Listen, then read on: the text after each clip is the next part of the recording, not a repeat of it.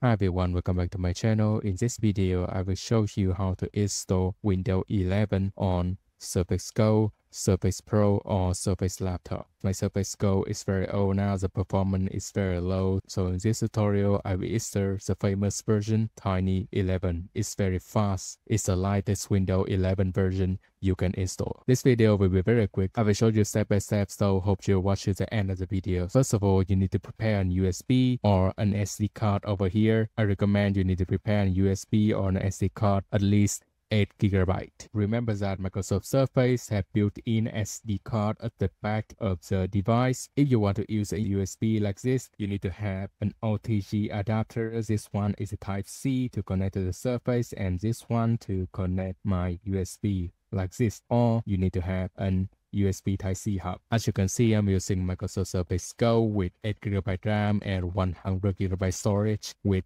an Intel, so it's very low-end hardware. You can check my task manager over here. I'm running original Windows 10 come from Microsoft Surface. You can see in the memory tab, we have 3.2 memories I in use. I don't have any apps running in the background right now. Original Windows 10 take 41% memories of my Surface Go. So that is the reason I want to upgrade to Tiny 11. Okay, after that, you need to prepare this three file. I will leave the download link in the description below or in the comments. This file is the most important file in this video. This file is Tiny 11 ISO installation. If you want to install stock Windows 11 or install original Windows 10 come from Microsoft Surface, you need to download Windows 10 or Windows 11 ISO installation file. Okay, the next file is Rufus. This app allows you to transfer all the Windows installation file to your USB and make it bootable. Okay, now you need to take your USB and connect to your OTG adapters and connect USB Type-C to your Surface Go USB port. You can see my USB over here. I have 16 gigabytes. Now you need to format your USB. You will right click and choose format. I will choose start. Now you can see format complete. I will come back to Rufus app over here. I will run this app by administrator. Now you can see the interface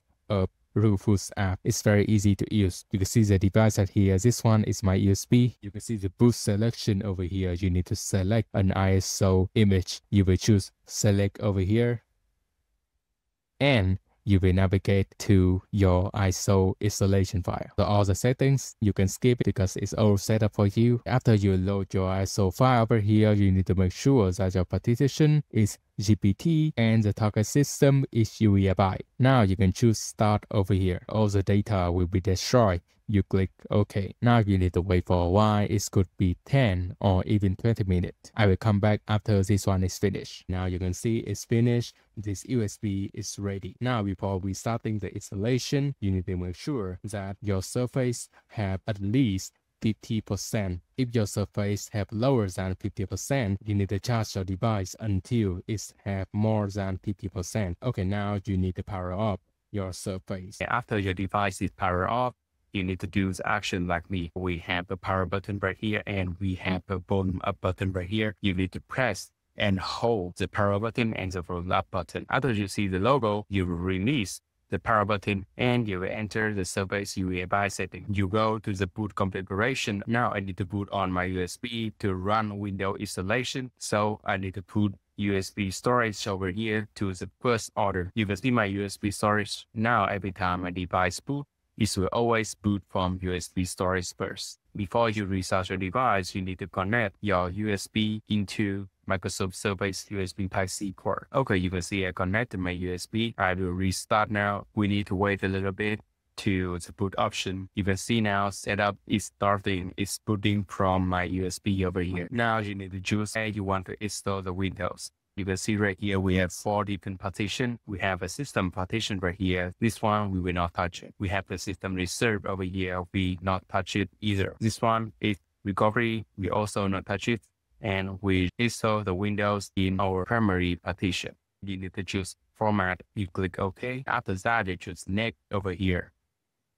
Now you can see it starts a window installation and you can wait in 5 or 10 minutes. I will come back after this one is paper. The device will restart in some couple seconds. So you need to unplug your USB. You need to wait a little bit because the device can turn on and turn off a couple of times before it going to the main Windows. We finally install Windows 11 in Microsoft Surface Go. You can see my device memory after I install Tiny 11. We only need 27% memories of the device. In Windows 10, we need at least 45% of memories to run it. So Tiny 11 in Microsoft Surface Go is 100% better. I very recommend you guys use this version on Surface Go. Now you need to reinstall all the drivers. You can go to this link over here, iobit.com slash driver booster. You just need to download the free version and install it. Now you can see we have driver booster install over here. To install and update all the drivers you choose the scan option. I will choose scan. You can see we have 22 outdated device drivers like camera monitor sounds bluetooth and now i just click update. All the drivers download and update automatically